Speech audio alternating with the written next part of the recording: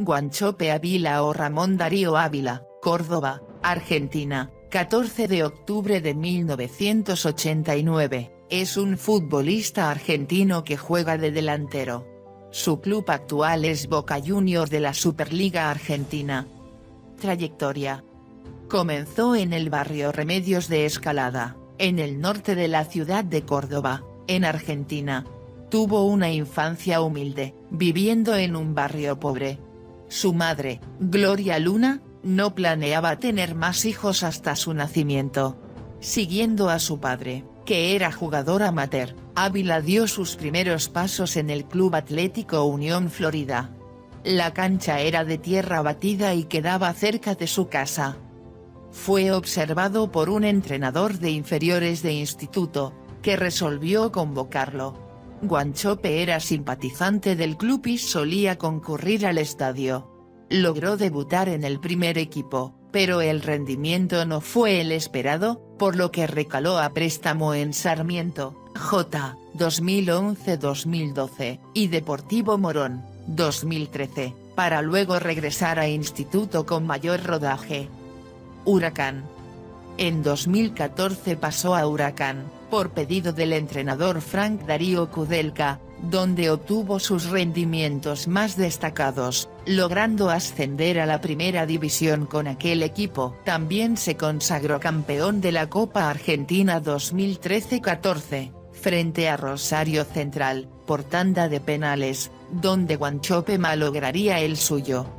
Ello le permitió la clasificación de Huracán a la Copa Libertadores, la cual no jugaba desde 1974, y un título al club desde el Campeonato Metropolitano de 1973. En este torneo se destaca su gol a Boca Juniors por 16 avos de final. Posteriormente ganó la Supercopa Argentina 2014, contra River Plate. Disputó la Copa Libertadores, en 2015 y 2016. Llegó a la final de la Copa Sudamericana 2015, en la que el Globo fue derrotado por Independiente Santa Fe, certamen en el que fue uno de los mayores artilleros, y parte del equipo ideal de la Comisión Técnica de la Conmebol. Durante esa etapa, marcó 53 goles en 103 partidos, con una media superior a 0,5 goles por juego. Cruzeiro. Sus buenos rendimientos lo pusieron en el ojo de otros equipos, haciéndose Cruzeiro, de Brasil, con el 50% de su pase, en junio de 2016. Su traspaso desembocó en un conflicto entre Huracán y el club mineiro, puesto que este último nunca terminó de pagar lo acordado. Si bien tuvo muy buenos rendimientos, con el tiempo fue perdiendo la titularidad, para luego no ser tenido en cuenta por el entrenador Mano Menezes. Marcó 25 goles en 60 partidos. Se consagró campeón de la Copa de Brasil de 2017. Boca Juniors, tras la intervención de Boca Juniors, haciéndose cargo de la deuda y comprometiéndose a pagar los sueldos del jugador, se desempeñó en Huracán durante el segundo semestre de 2017, y ambos clubes comparten los derechos económicos de su pase. 5. El 11 de diciembre de 2017 se presentó en el entrenamiento de Boca Juniors, Debutó en un partido amistoso ante Aldosivi en los torneos de verano, donde marcó su primer gol, en el empate 2-2. 2018. Su primer gol oficial lo marcó ante Club Atlético San Martín, San Juan, el 25 de febrero de 2018, en la victoria 4-2. Después de este, entre partidos como titular e ingresando como suplente, tanto por el torneo local como por Copa Libertadores y Copa Argentina, convirtió diversos goles, señalados como vitales para definir el torneo local, como contra Unión de Santa Fe y Newell's Old Boys de Rosario, el 9 de mayo de 2018 convierte el segundo gol frente a Gimnasia y Esgrima de la Plata en el empate 2-2 para que Boca salga campeón de la Superliga Argentina 2017-18. El 7 de octubre convierte el descuento frente a Racing por la fecha 8 de la Superliga Argentina 2018-19 en el empate 2-2, partido que su equipo comenzó perdiendo 2-0. Durante la Copa Libertadores 2018 logra afianzarse como titular, por sobre el lesionado Darío Benedetto. Convierte tantos ante Alianza Lima, en la fase de grupos, y luego en octavos de final, ante Libertad de Paraguay.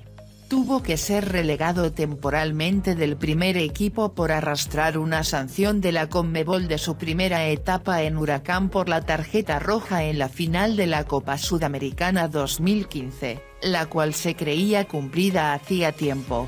El 31 de octubre convierte el primer gol frente a Palmeiras en la vuelta de semifinales de Copa Libertadores que su equipo empata 2-2, pasando con un resultado global de 4-2 a la final del torneo. El 11 de noviembre marca el primer gol en la final frente a River Plate, capturando un rebote de un disparo realizado por él mismo, en el partido de ida que acaba empatado 2-2. En el partido de vuelta disputado en el Estadio Santiago Bernabéu ingresaría en el segundo tiempo en reemplazo de Darío Benedetto, a pesar de no estar en buenas condiciones físicas por una dolencia. 2019 el 19 de abril en los 32 avos de final de la Copa Argentina 2019 abriría el marcador en lo que sería la victoria por 2 a 0 de Boca Juniors ante Estudiantes de Río Cuarto, anotando así su duodécimo gol en este torneo, convirtiéndose en el goleador histórico de esta competencia. 6 desde que comenzó su etapa moderna en 2011. En la Copa Libertadores de ese año, marcó por octavos de final ante Atlético Paranaense el 31 de julio en la Bombonera por la vuelta, en la victoria 2-0 y el 21 de agosto marcaría contra Liga de Quito por cuartos de final, donde además Ramón generaría la jugada en la que un rival convirtió un autogol en el 0-3 de la ida en Quito. Apodo Ramón Ávila tomó su apodo de Paulo Guanchope, delantero mundialista y goleador histórico de Costa Rica, que jugó en el Manchester City, el Málaga y Rosario Central. Le fue adjudicado, por su gran parecido físico, durante su paso por Instituto, club en el que se formó y jugó hasta 2013 para luego pasar al Club Atlético Huracán. Fin de la biografía.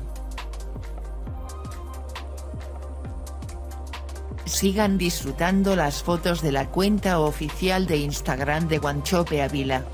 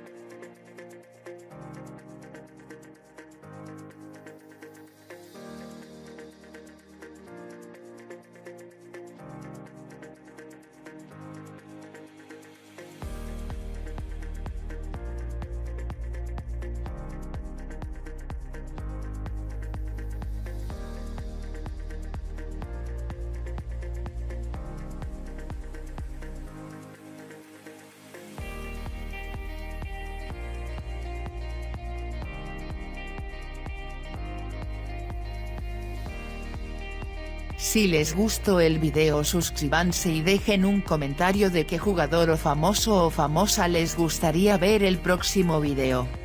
Abrazo.